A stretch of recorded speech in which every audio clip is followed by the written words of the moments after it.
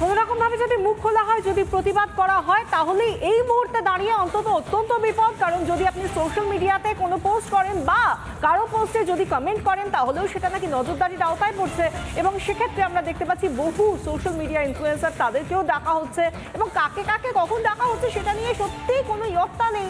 কোনো গণনা করে বলা যাবে না যে কাকে কখন ডাকা হবে। কারণ আমরা ইতিমধ্যেই দেখতে পেয়েছি সুখেন্দু শেখর রায়, যিনি তৃণমূলেরই সাংসদ, তাকেও লালবাজারে তলব করা হয়েছে। তিনি গতকাল জাননি তিনি বলছেন, তিনি অসুস্থ, তিনি যেতে পারবেন না। কিন্তু এরপর কি হয় সেদিকে তো নজর থাকবেই। এবং লকেট চট্টোপাধ্যায় কুণাল সরকার, সুবর্ণ গোস্বামী তাদের এরকম চিকিৎসকদের বা লকেট চট্টোপাধ্যায়ের মতো প্রাক্তন বিজেপি সাংসদ, তাকেও তলব করা হয়েছে। এরকম সেই জায়গা থেকেই আজকে আমরা আলোচনা করব। আমাদের বিতর্ক চলবে এবং যারা রয়েছেন আজকে আমাদের সঙ্গে, এই বিতর্কে অংশগ্রহণ করছেন যারা, তাদের সঙ্গে একে একে আমরা আলাপ করিয়ে দেবো। আমাদের সঙ্গে রয়েছেন ডক্টর তন্ময় মুখার্জি, বিজেপি মুখপাত্র। রয়েছেন আমাদের সঙ্গে শুভজিৎ সরকার, সিপিআইএম নেতা এবং ছাত্র নেতাও বটে, বামেদের ছাত্র নেতাও বটে। সেই সঙ্গে আমরা অনলাইনে পেয়ে গিয়েছি নীলাদ্রি ভট্টাচার্য, আইনজীবী, যিনি শাসকের সমর্থনে কথা বলবেন। আমরা প্রত্যেককে স্বাগত জানিয়ে প্রথমেই আমরা ডক্টর তন্ময় মুখার্জির কাছে যাব। আপনি একজন চিকিৎসক এবং যে ঘটনাটা ঘটেছে যার জেরে গোটা বাংলা শিউরে উঠেছে, আজও আমরা বিচার চাইছি প্রত্যেকে। এই বাংলার এই দেশের মানুষের প্রত্যেকে আমরা বিচার চাইছি। কিন্তু এই বিচার চাইতে গিয়ে যদি আমরা আমাদের মতামত প্রকাশ করি, তাহলে কেন বারবার পুলিশের রোশানলে পড়তে হবে? কেন তাদেরকে তলব করা হবে? কি কারণে? আপনার কি মনে হয়? দেখুন, পশ্চিমবঙ্গে একটা অঘোষিত জরুরি অবস্থা চলছে। কারণ এই সরকার প্রথম থেকে অনেক কিছু লোকানোর চেষ্টা করছে।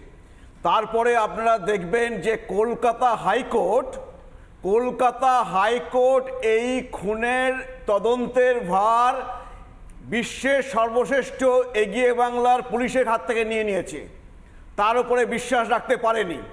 তার ফলে এখন কি হলো?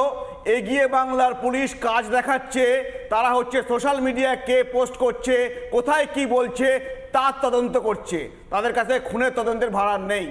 আর আমরা কি দেখতে পেলাম? চোদ্দই আগস্ট রাত্রেবেলা আর্জি করে যেভাবে গুন্ডা বাহিনী ঢুকে তছনছ করল, সেটা থেকে পরিষ্কার হলো যে পুলিশ নিষ্ক্রিয় থেকে প্রমাণ লোপাটে সাহায্য করল। সুতরাং এই পুলিশের কাজ এখন এইগুলো হয়েছে, কারণ এটা হচ্ছে আমাদের রাজ্যে বিশ্বের সর্বশ্রেষ্ঠ এগিয়ে বাংলার পুলিশ বলে। এখন এরা হচ্ছে কিছু করতে পারবে না, এরা শুধু আর কিছু করছে না, এরা হচ্ছে আগুনে ঘি ঢালছে। এই জন্যে প্রতিদিন আপনি দেখবেন আন্দোলন আরও তীব্রতর হচ্ছে এবং এইটাই চলবে যতক্ষণ না এই অভয়া জাস্টিস পাচ্ছে। সেটাই আমরা বলে যাচ্ছি। একদিকে সাধারণ মানুষ থেকে শুরু করে সবাই বলছে জাস্টিস চাইছেন এবং শাসক দল, এমনকি মুখ্যমন্ত্রী নিজেও বলছেন যে, ফাঁসি চাই ফাঁসি চাই। তিনি নানা রকমভাবে বলেছেন, এটা ঠিক, আমরা সেই প্রসঙ্গে আসব। কিন্তু ফাঁসি চাইছেন জাস্টিস চাইছেন তিনিও।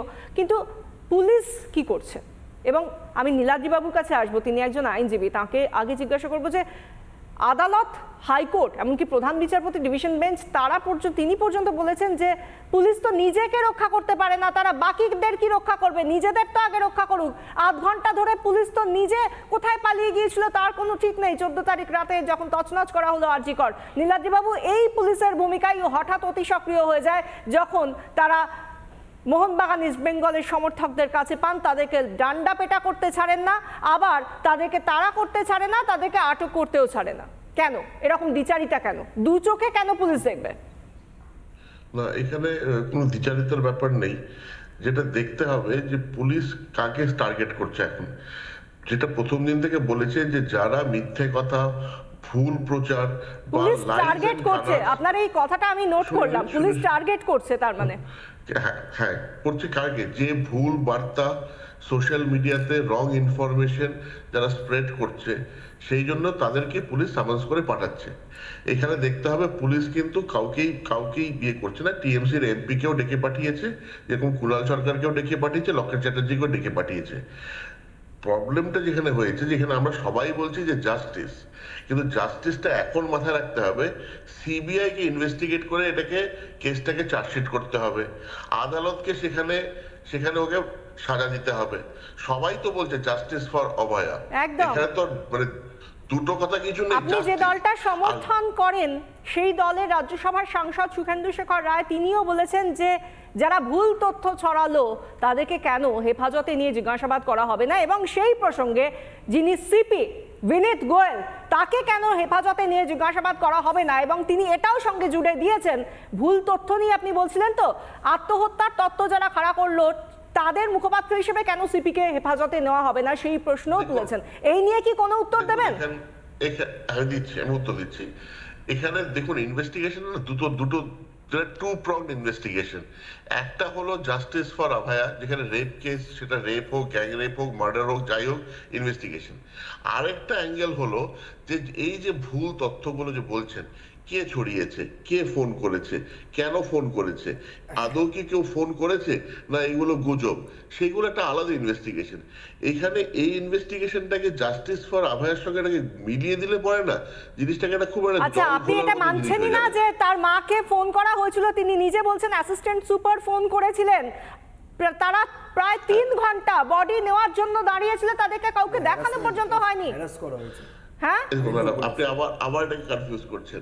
কেউ Confuse? কি একটার পর একটা সাক্ষীদের বয়ান আমরা তুলে ধরছি, আর আপনি বলছেন ফোন করা। কে কেউ ফোন করেছে আর কি ফোন করেনি আপনি কি তিন ঘণ্টা দাঁড়িয়ে রয়েছে বডির জন্য সেটাও কিন্তু ডিফারেন্ট যেখানে এখানে দেখতে হবে যে সবাই আমরা কিন্তু এক কথাই বলছি মানে এখানে শাসক দল অপোজিশন সবাই বলছে যে জাস্টিস চাইছি। কিন্তু অপোজিশন যেভাবে এটাকে শুনুন স্রোতে গা ভাসানো একটা কথা আছে বাংলায়। স্রোতে গা ভাসিয়ে দেওয়াটা খুব সহজ কিন্তু স্রোতে গা ভাসিয়ে নিজেকে প্রমাণ করাটা খুব কঠিন বিষয়। আমরা জানি না শাসক দল এবং প্রশাসন কীভাবে সেটা করবে। আমরা একবার আমরা আমরা আসব শুভজিতের কাছে আসব কিন্তু তার আগে অনেকক্ষণ তন্ময় বাবু কিছু বলার চেষ্টা করছেন। তন্ময় বাবু আপনাকে থার্টি সেকেন্ড আমি একটা কথাই মনে করে দিচ্ছি। উনি বলছেন যে বিভিন্ন মানুষ বিভিন্ন রকম কথা বলছেন। আমি এইটাকেই বলে দেওয়ার চেষ্টা করছি যে পুলিশের কমিশনার দশ তারিখে প্রেস কনফারেন্স করে বলেছে Sanjay has committed the crime আমরা অপরাধীকে পেয়ে গেছি সঞ্জয় করেছে। আপনি পরে বলবেন পরে বলবেন আবার। পরে বলবেন আবার শুনে নিন একটু। পরে বলবেন বাবু, আমি 30 সেকেন্ড পরে বলবেন, শুনে নিন আপনি, আপনার আপনি সাথে কথা বলতে পারবেন না। শোনার পরে আবার আপনার কাছে আপনার আপনার একটু গায়ে লাগবে আমি বুঝতে পারছি। Sanjay has committed the crime Sanjay করেছে। সঞ্জয় অপরাধী। তার দুদিন পরে পুলিশ মন্ত্রী বলছেন যে আমি আরও সাত পাঁচ দিন সময় দিলাম রবিবার পর্যন্ত যাতে যাতে খুনি গ্রেপ্তার হয়। খুনিদের খুনি দোষীদের। এবং দোষীদের শাস্তি হয়। তাহলে এই পুলিশ মন্ত্রী ঠিক বলেছেন না সিপি ঠিক বলেছেন?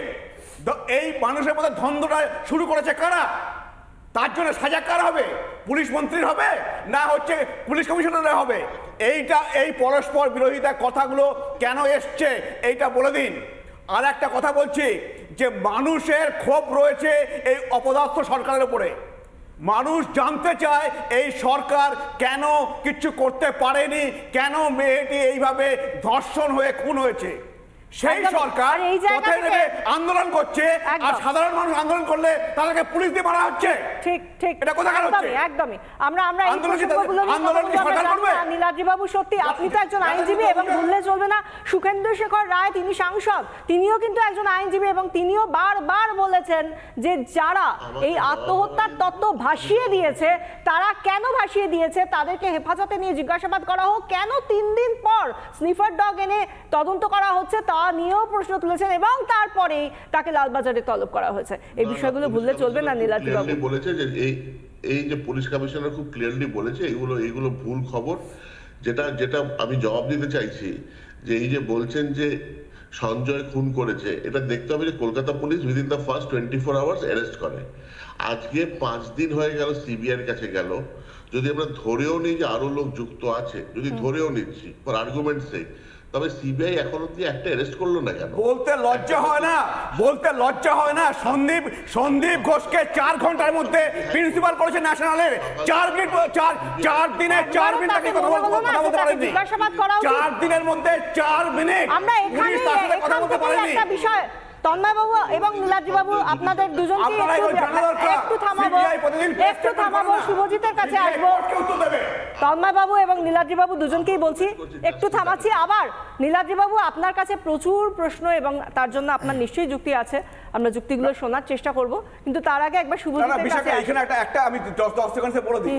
যে এইটা হচ্ছে কোর্ট মনিটর সিবিআই হচ্ছে। একদম। কোর্ট বলে দিয়েছে তিন সপ্তাহ পরে আবার যখন কেসটা উঠবে তখন সিবিআই কে বলেছে যে মুখ বন্ধ খামে কোর্ট তদন্তের কতটা এগোলো সেটা কোর্টকে জানাতে। আজকে হচ্ছে সেটা তেরো তারিখ থেকে সিবিআই সিবিআই ওই প্রতিদিন দাঁড়িয়ে দাঁড়িয়ে নাটক করবে না ওখানে। আজকে আজকে ধরুন এই সন্দীপ ঘোষ এরা এরা চার ঘণ্টার মধ্যে তাকে আবার ন্যাশনালের প্রিন্সিপাল করল। অথচ চার দিনের মধ্যে চার মিনিট আমাদের বারবার একটা জিনিস দেখতে হয়। আমি গেস্টকে বলব, এই যে, এই জায়গাটায় একবার নজর দেওয়ার জন্য যে আমরা দেখেছি ইদানিং কালে যা যা সমস্যা তৈরি হয় এই রাজ্যে, তার সমস্যার সমাধানের জন্য আমাদেরকে যেতে হয় কোথায় না হাইকোর্টে। হাইকোর্টই বলে দিল কি, না, এই যে একজনকে আরজিকর থেকে রাতারাতি কয়েক ঘণ্টার ব্যবধানে ন্যাশনাল মেডিকেলের অধ্যক্ষ করে দেওয়া হচ্ছে, এই এই দায়িত্ব সামলানোর মতো এই মুহূর্তে তার যোগ্যতা আছে কিনা সন্দীপ ঘোষের? সেই নিয়ে প্রশ্ন তোলা হলো এবং বলা হলো যে না, তাকে এই দায়িত্ব দেওয়া যাবে না।